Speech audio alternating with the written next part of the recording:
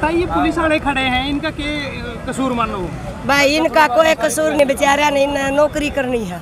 इनका क्या कसूर है बेचारा का? इनका कोई कसूर नहीं अपने अगले बिले हाजी की नौकरी ना जी का घर ना कर दी तो ये घर बिक जाएँगे बेचारे अपने खड़े ड्यूटी कर रहे हैं ये के को है बैठना हाथ रखो ये बैठते भी नहीं क्यों कर रही है फिर ये भी ये वर्दी में है ये सरकार के नौकर हैं। अपने बालक सवा भी दुखी हो हाँ। दुखी हो रहे हैं ये भी दुखी हो रहे हैं हमने तो इनकी दया ज़्यादा, आवा बोले का हम इतने तंग हो रहे हम हमारी नहीं काम में भी खड़े हैं। मजबूरी कर रखी है सरकार ने माम भी। और ये भी मजबूर बना रखे मैंने बात के। आप एशिया में स्वाद लेने लग रहे हुए ये बबली पबली कर काड़ा छेड़ा छेड़ कर। आप और कहता बबलीर भी मार दो रे बैठो जब नहीं बेरा पटा गर्मी में के हो है?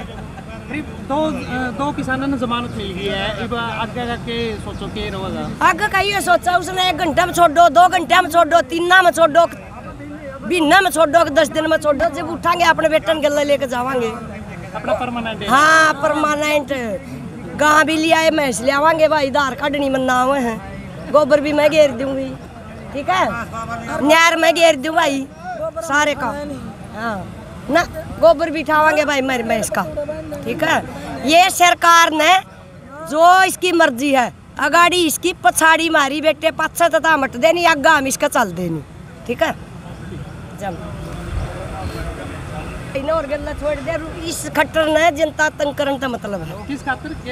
नहीं उस भाई ने भी गल्ला छोड़ दे रहे उसमें कौन सा बड़ा काम करवाना मक्खन पे कहीं भी इनका न्योर है भी इनका लाड गढ़ा गया हमारे गल सरकार का, भाई, इनका जी नहीं लगता हमारा बिना हामी ही श्यामी खड़े रहे